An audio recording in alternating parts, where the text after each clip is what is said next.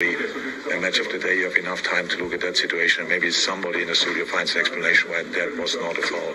People are making out that things have been really, really bad when it's not been really, really bad. Obviously, it's been bad, but there is never something in the middle, of.